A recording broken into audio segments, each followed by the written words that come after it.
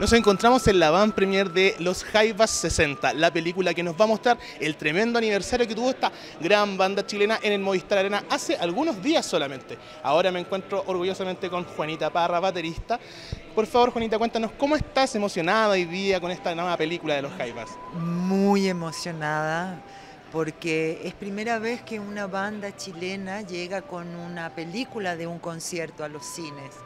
Entonces es muy bonito cumplir 60 años de historia y al mismo tiempo seguir siendo pionero de, movimientos culturales en nuestro país. Espero que de ahora en adelante muchas otras bandas puedan subir a, los cines eh, sus conciertos. Eh, efectivamente, como tú dices, no hace mucho, sino que el 15 de agosto y 17 de agosto estuvimos presentándonos en el Movistar. Tuvimos la suerte de, conseguir justo la fecha eh, del cumpleaños y, además la suerte de que el público respondió de tal forma que tuvimos dos Movistar, no uno para celebrar. Y eso nos dejó llenos de felicidad. Y entonces dijimos, bueno, sigamos, hagamos más, entonces hagamos película de este concierto y el concierto duró tres horas y media. Exactamente. La película dura dos horas diez, es un extracto, es un extracto para que no podía ser tan largo y, estamos muy contentos de llegar al día del, preestreno, como dices tú, y además que se va a hacer a lo largo de todo Chile, lo que permite a gente que no pudo venir al Movistar o que no tuvo el dinero para comprar una entrada más cara, pueda verlo en cine con un sonido increíble. Hicimos una eh, masterización, se remasterizó, eh, se mezcló, así que está impecable. Yo creo que eh, va a ser un, disfrute. Aquí estamos con Alan. Alan, aquí se nos une Alan. ¿Cómo estás, Alan? Guitarrista de los Jaivas. Bienvenido, estamos para Rockaxis. Estaba preguntando a Juanita que cómo se sienten con esto ya, con estos 60 años, con grabar esta película. Por favor, quiero saber tu opinión y también si es que ya la vieron ustedes. No, no la, no la hemos visto, así que tenemos mayor expectación respecto a cómo nos vamos a ver en el ¡Qué cine. nervio! Sí, tú sabes que a mí no me gusta eh, cuando, por ejemplo, Viña, todos me dicen, oye, ¿no hay visto Viña en YouTube? No, porque no, me da mucho nervio, como que no sé, no, no disfruto el sentarme a ver desde fuera un concierto, analizar, lo que sé yo. Y ahora nos tocó nomás. Yo, tuve la suerte de, poder escuchar eh, el audio, la mezcla, ser parte de eso. Pero tampoco he visto imágenes, pues solo la sinopsis. Así que nada, expectante estamos. Sí, sí, es una linda sorpresa porque, bueno, creo que es una experiencia única, primera, primera vez que un grupo chileno, digamos, se presenta en la pantalla grande después de haber tocado un concierto tan grande también, tan apoteósico. Dos, claro, imagínate. Entonces es una linda sorpresa. Eso, eso yo creo que por ahí va. Hoy día vemos lágrimas de parte de los Jaivas o no? Puede ser, a lo mejor.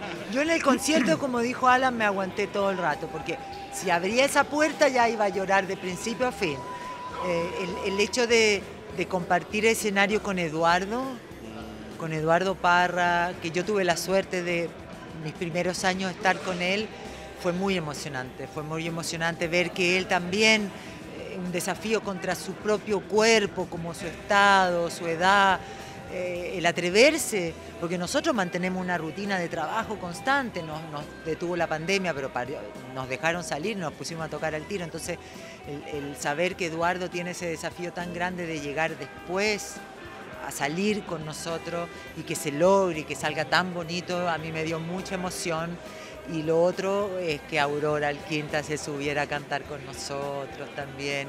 Es muy bonito sentir el legado hacia las hijas mujeres, Vimos a tres, mujeres, a tres grandes mujeres de la familia. Marina Mutis, quien eh, también tiene un proyecto musical, de percusión musical, se llama Kumba, que estuvo haciendo intervenciones en las entradas del Movistar y después nos acompañaron en todos juntos.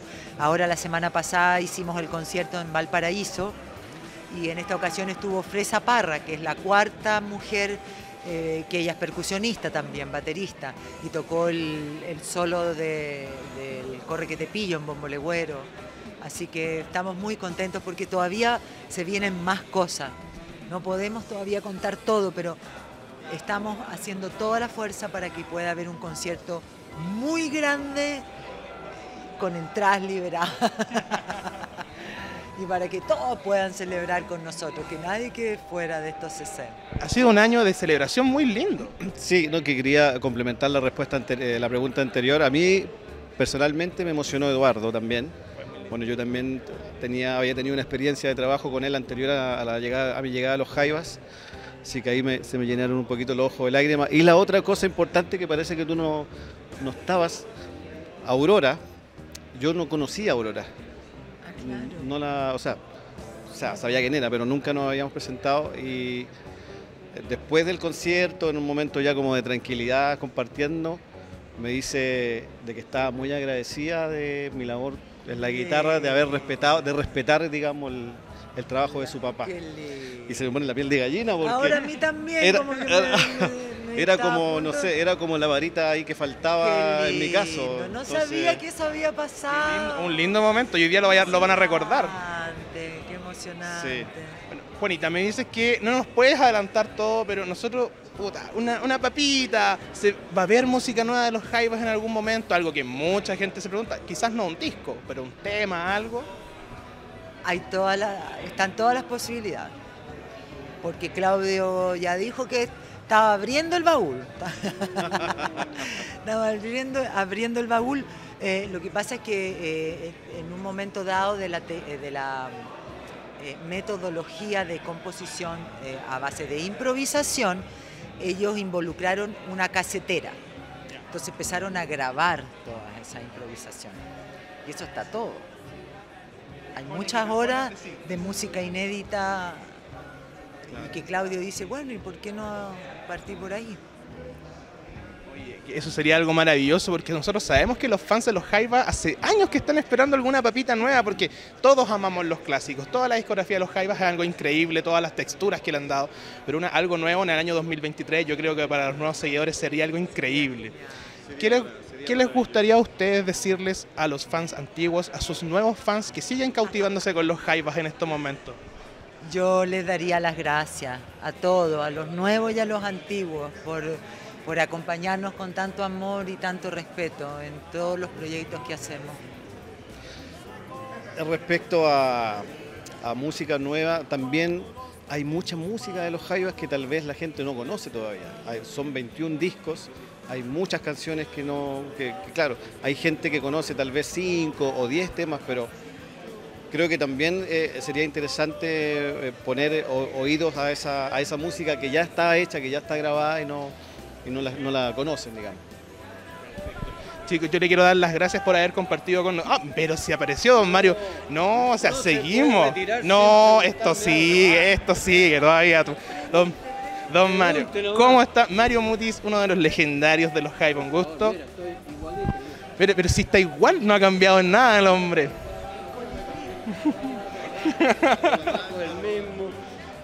Ese bajo Rickenbacker que tan, tanto te caracteriza. Mario, ¿cómo te sientes hoy el día de la película, el estreno de la película Los Jaivas? Bueno, es una sensación nueva. Todavía quedan cosas nuevas en este mundo. Estamos siendo pioneros en otra actividad que esta de mostrar en la pantalla grande, en el cine, esto que hicimos ahora recién en el concierto del Movistar. Así que es la primera vez que se hace en Chile, somos de alguna manera pioneros en esto y que además brinda la oportunidad a las personas que no pudieron estar en el concierto porque viven lejos, porque no le alcanza la plata o por lo que sea, de ver esto en su ciudad de origen, desde hace a, través de todo Chile, en los cines. Cinépolis, Cinépolis se llama, y la otra se llama Cinemark. Exactamente. Hay muchos cines que van a estar transmitiendo este programita eh, eh, hoy día hasta el próximo domingo. es limitado, son solamente algunos días los que vamos a poder ver esta película. Sí, algunos días nomás, porque ¿qué más qué? Pues, ¿Alguna idea de poder lanzar esta cinta quizás en material, en formato físico, ya sea disco, Blu-ray, algo? Bueno, eh, queremos hacer porque lo que estamos mostrando hoy día no es el concierto completo. El concierto completo duró más o menos 3 horas y 40 minutos y lo que estamos mostrando de aquí hasta el domingo es un a rejunte, digamos, de dos horas y diez minutos, 15 minutos. Lo mejor de lo mejor. Seleccionado ahí porque tampoco alcanzamos a hacer todo, es un trabajo enorme esa cuestión. Entonces lo que sí, sí, es un tiempo récord, en tres días hicimos la mezcla de sonido. Entonces lo que sí vamos a hacer es incorporar todo el concierto, posteriormente ya con más calma, más tranquilidad, y eso esperamos salga en algún soporte, la gente lo pueda ver en su casa o a través de una plataforma, no sé, ahí vamos a avisar por dónde va a salir, pero lo vamos a montar. Perfecto. Bueno, estamos celebrando los 60 años, ¿qué es lo que sigue ahora con los Jaivas? Los 61. claro, pues si es fácil, yo sé contar como hasta 100. Ah, o sea, hasta, todo lo que sepas contar quieres dar. Bueno, tenemos muchos proyectos, tenemos muchas cosas que hacer. la primera parte de este año lo dedicamos fundamentalmente a hacer gira por Chile. Montamos un espectáculo que íbamos probando ciertos temas, ciertas ciertos elementos escenográficos, ciertas cosas musicales en distintos lugares de Chile y recogiendo también eh, cómo el público reaccionaba a eso. Y en base a esa información eh, diseñamos el concierto en Movistar. Y quedó espectacular, quedó muy bonito. Y lo que era la escenografía, por ejemplo, lo que eran las pantallas, todo eso, también, sí, también fue un acierto. Yo creo que nunca se había hecho algo así en Chile el sonido fue, yo creo, de primera categoría y lo, tuvimos un muy buen resultado. Así que vamos a seguir, queremos hacer el concierto completo y del resto del año vamos a hacer un montón de actividades que se los vamos a ir anunciando porque son puras sorpresas y todas entretenidas y todas pioneras, diría yo. Eso Siempre los va siendo pioneros en todo, muy bien. Bueno, casi todo nomás. y estamos aquí a punto de ver la película de los Jaivas 60. ¿Cómo te sientes con este tremendo espectáculo que vamos a ver y vivir nuevamente? Y vivir nuevamente del concierto. Bueno, bien, feliz. Vamos a ver cómo estuvo el concierto. En realidad es un placer ver el resultado de lo que hicimos en el concierto. Eh, esto de nuevo no es tanto ya, ya habíamos 20 años en la banda. ¿ah? Pero seguimos siendo los nuevos. es así acá. Eso. A ver, ¿cómo te sientes tú? ¿Cómo te sentiste con esto, estar parte de esta celebración de los 60 años y qué es lo que podemos esperar de los Jaivas ahora a futuro? Bueno, 60 años más. Podemos esperar 60 años más de música. Eh, la verdad que ya llevamos 20 años tocando juntos y, y es fantástico haber recorrido este tiempo con ellos, es fantástico poder hacer que la música esté viva y esperamos poder tocar 60 años más, como digo. ¿Planes de poder hacer música nueva con los Jaivas? Bueno, eso lo dirá el tiempo. Perfecto. Bueno, Pancho, quiero agradecer tu tiempo para este breve. Mario, te quiero dar las gracias por haber estado con nosotros. Entonces, ya saben, acá en Rocaxi los invitamos a ver la película de los Jaivas 60, la cual va a estar en los mejores cines de Chile hasta el día domingo para que puedan verla. No se la pierdan porque es un concierto espectacular. Nos vemos en la pantalla grande.